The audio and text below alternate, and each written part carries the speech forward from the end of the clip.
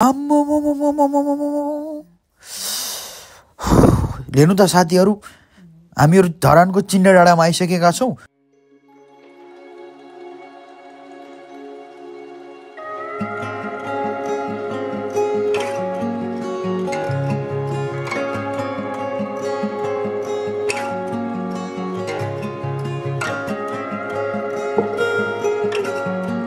अनि camera camera खुलेपछि बोल्न आउँदैन ल। हेलो साथीहरू। यहाँहरू सबैलाई English two thousand twenty four new इयरको शुभकामना। र हामी चाहिँ सबैजना नयाँ वर्ष मनाउनको निम्ति हामीहरू इटरीदेखि टक्कसँग लगाएर चिन्डु डाँडामा गइरहेको छौँ। हजुरहरूले हेर्न सक्नुहुन्छ। मेरो यहाँ दुईजना साथीहरू हुनुहुन्छ। र हामी हजुरहरूलाई टक्कसँग लगाएर त्यहाँनिरको सबै कुराहरू त्यहाँनिरको राम्रो राम्रो भ्यूहरू हजुरहरूलाई देखाउनेछौँ कृपया अन्तिम समयसम्म हाम्रो भिडियो हेरिदिनु होला। र साथीहरू अहिले करिब आठ बजेको छ र हामी अहिले अगाडि बढिरहेका छौँ इटरीदेखि र साथीहरू हामीहरू लगभग तर आइसकेका छौँ र हजुरहरूले फराकिलो सिक्स लेनको बाटो देख्न सक्नुहुन्छ। साथीहरू हजुरहरूले यो बाटो हेरेर थाहा पाइसक्नु होला लोकेसन। यो चाहिँ तपाईँको दरारादेखि धरान जानेको बिचको बिग्रेको बाटो हो। र साथीहरू हजुरहरूले यति राम्रो बाटो देख्न सक्नुहुन्छ। यो बाटो चाहिँ कुन हो भनेर हजुरहरूलाई भन्नै पर्दैन। लगभग हामी धरानको नजिक नजिक आइपुगिसकेका छौँ। सो फाइनली हामीहरू धरान आइसकेका छौँ। हजुरहरूले अगाडिको घन्टाघर देख्न सक्नुहुन्छ। यहाँ हेर्न सक्नुहुन्छ हाम्रो अगाडि दुईवटा बाटो छ। यो बाटो गयौँ भने सिधै भेटाटार पुगिन्छ भने यो बाटो हामी गयौँ भने सिधै चिन्डे डाँडा पुगिन्छ।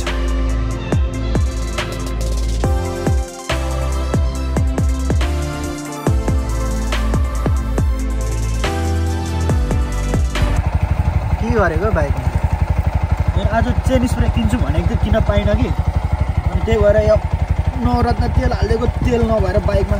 मान्छेलाई तेल छैन यो बाइकले नवरत्न तेल हाल्दै रहेछ अमिताभ बच्चन रिसा रिसाउँदैन? त अमिताभ बच्चनले यहाँ नवरत्न तेल टाउको भनेर अहिले कपाल सबै त्यसको हराएर विक लगाइरहेको छ बुढोले अर्को पनि। अब अमिताभ बच्चनमाथि चढ्न बच्चनले यो बाइकको लागि चम्पी गर्न बनाएको तेल। हामी नेपालको नेपालको जनता यति साह्रो धनी भयौँ कि उनीहरूले टाउकोमा लाउने तेल हामी बाइकमा लगाइदिन्छौँ यार एउटा दुईवटा तिनवटा हातमा चारवटा यो चाहिँ टाउकोमा लाउँछु र हामीहरू चाहिँ ठ्याक्कै ओसो पार्कनेर आइसकेका छौँ। हजुरहरूले यो झिलिमिली पुलमा देख्न सक्नुहुन्छ। र चिन्ने डाँडाको ठ्याक्कै स्टार्टिङ पोइन्ट भनेको यही हो है।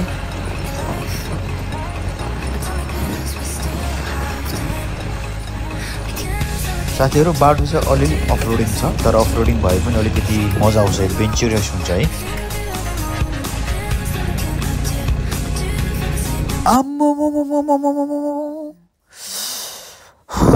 हेर्नु त साथीहरू हामीहरू धरानको चिन्डा डाँडामा आइसकेका छौँ र यो धरानको नाइट भ्यू हेर्ने एकदमै दामी ठाउँ भनेको बेस्ट प्लेस भनेको नि चिन्ने डाँडा हो।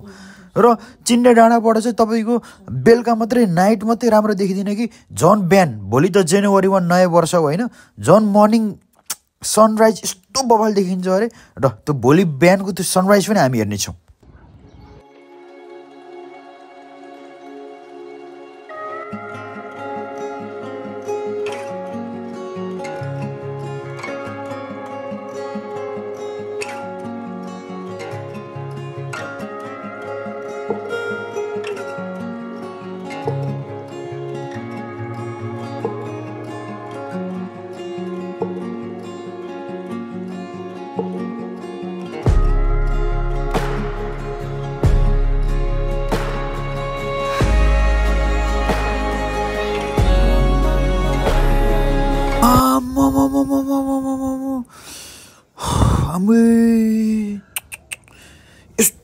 खतरा हुन्छ भनेर मैले सोचेकै थिइनँ।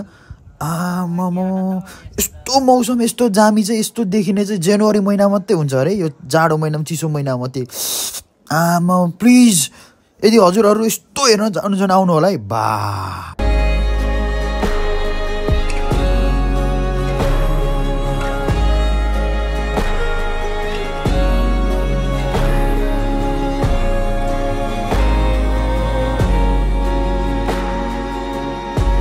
ल साथीहरू हजुरहरू यस्तो दामी भ्यू हेर्न चाहनुहुन्छ भने चाहिँ बिहान छ बजेभन्दा अगाडि आइसक्नु पर्ने हुन्छ होइन यहाँनिर। तर म चाहिँ हजुरहरूलाई के रिकमेन्ड गर्छु भने सकेसम्म हजुरहरू चाहिँ एक दिन अगाडि आउनुहोस् यहाँनिर बस्नुहोस् होइन बेलुका बस्नुहोस्। बेलुकाको भ्यू त यस्तो दामी छँदैछ होइन त्योभन्दा दुई गुणा दामी चाहिँ बिहानको छ क्या र फेरि यो चाहिँ लगभग तपाईँको जनवरी मन्थसम्म मात्रै हुन्छ होला जाडो महिनामा मात्रै हुन्छ होइन। जाडो महिना हटिसकेपछि यस्तो दामी भ्यूहरू देख्न सकिँदैन। र खान बस्नको लागि ढुक्क हुनुहोस् यहाँनिर हाम्रो दिदीको होटेलहरू छ होइन। बस्ने पनि यहीँ छ सुत्ने पनि यहीँ छ खाने पनि यहीँ छ सबै कुरा यहीँ छ है। र हजुरहरूलाई चाहिँ म के रिकमेन्ड गर्छु भने यदि तपाईँहरू धेरै मासु खानुहुन्छ भने चाहिँ सकेसम्म आफैले मुनिबाट मासु बोकेर आएर यहाँनिर पोलेर खाने रमाइलो गरेर नाच्ने गाउने सबै गर्दा हुन्छ अब चाहिँ म तपाईँहरूलाई यो रुम देखाउन चाहन्छु। रुमहरू पनि हेर्नु है बवाल रुमहरू छ।